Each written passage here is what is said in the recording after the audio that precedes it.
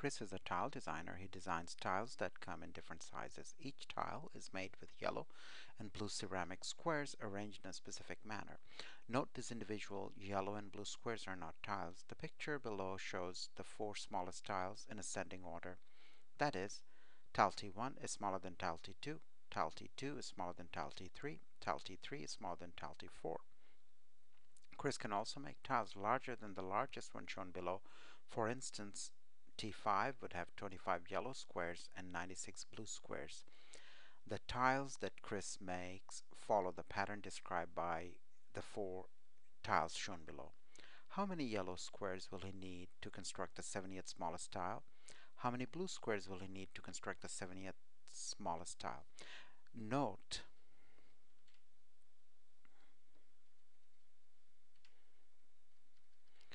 Note that this is a tile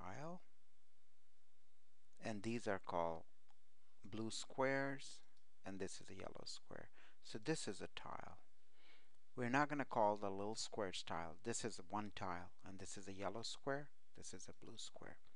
Another big tile here, the fourth smallest one. Here's a blue square. Here's a yellow square. So part A, we need to find out how many yellow squares will be needed for the 70th smallest tile. So basically, what we are looking for is how many yellow squares do we need for T subscript 70? Now, take a look at this pattern here.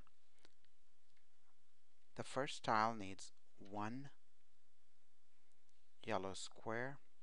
The second tile needs four yellow squares. Third tile needs 9 yellow squares. The fourth one needs 16 yellow squares. So what's the relationship between 1 and 1, 2 and 4, 3 and 9, 4 and 16?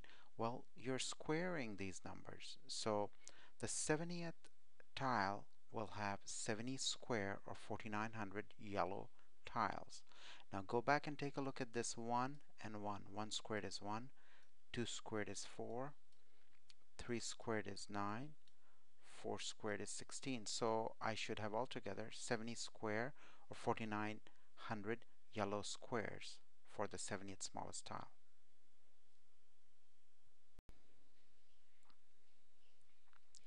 Now we're working on part B. Part B wants us to find out how many blue squares will be needed for the 70th smallest tile. In part A, we found out how many yellow squares, excuse me, how many yellow squares are needed for the 70th smallest tile. And now we're going to find out how many blue squares are needed for the uh, 70th smallest tile. Now take a look at this. If this is 1, this is 3.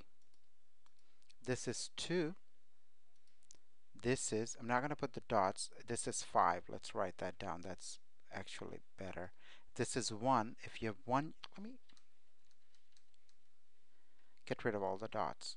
For one yellow dot, you get 3, you get 3 blue squares. For two yellow dots, you get 5 blue squares. For three yellow dots, you get seven blue squares.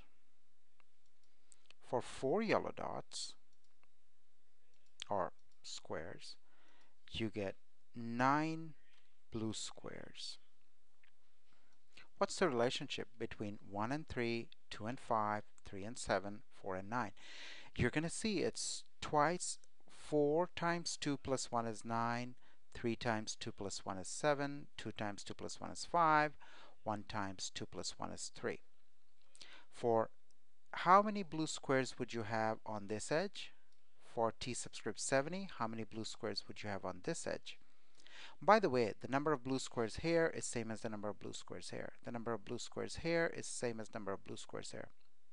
So using that argument, we're going to have, um, on T70, we're going to have 70 times 2 plus 1, 141 141 blue squares on this edge and also 141 blue squares on this edge. Sorry, 141 blue squares here and 141 blue squares here as well.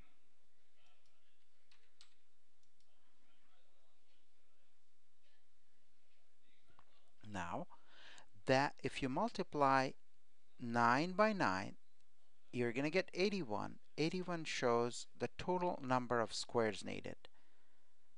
And if you multiply 7 by 7, you're going to get 49. 49 is the total number of squares needed. So if you multiply 141 by 141, you're going to get 19,881.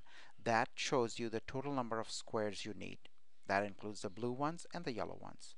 From part A, we know we need for the for T70 we need 4900 yellow squares. Now if you subtract the total number of uh, total number of yellow squares from the total number of yellow plus blue squares, which is what we're doing here, you're going to get your answer which is 14,981 blue squares.